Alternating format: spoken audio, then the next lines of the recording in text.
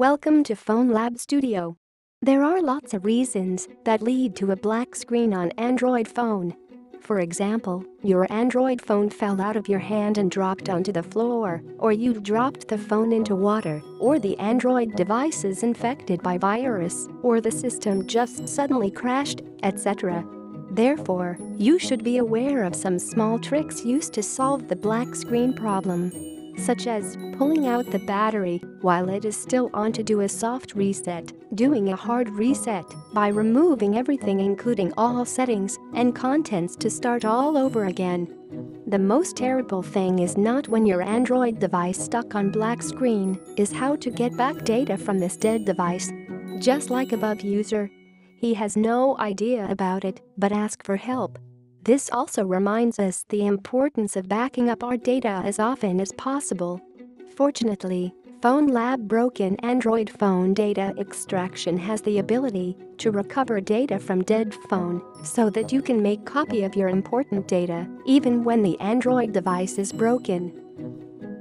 Main features of broken Android phone data extraction 1. Backup data from black screen, water damaged, smashed screen or virus-infected Android device. 2. Support to recover text messages from Samsung Galaxy Note series, Samsung Galaxy S series and Samsung Galaxy Tablet. 3. It is able to fix your disabled Android OS to normal within a few minutes.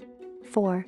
The recoverable files includes text, photos, videos, documents, audio, contact, WhatsApp and attachments, etc. messages. Let's move to how to retrieve text messages from a broken phone. Step 1. Download and install the program on your PC with the above link. Then it will automatically open when it is finished. Choose Broken Android Phone Data Extraction on the interface. Step 2. Connect your Samsung Galaxy S7 Edge to the computer with the USB cable. Click Start if cannot enter password or cannot touch the screen. Otherwise click Fix device if it has something to do with the abnormal OS. Step 3. Choose the correct information of your Samsung Galaxy phone including device name and device model. Then click Confirm to move on. Step 4.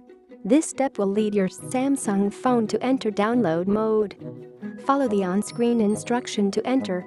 Power off the phone, press and hold the volume down home and power button together, press the volume up button, and then click on the start button. Step 5.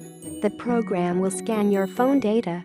After it is finished, choose Messages and Messages attachments on the left column and click Next. Step 6 preview and mark the items you want to recover, and click Recover to save them onto your computer. That's all. If you want to know more about our software, please visit our official site at www.fonelab.com. Thanks for watching.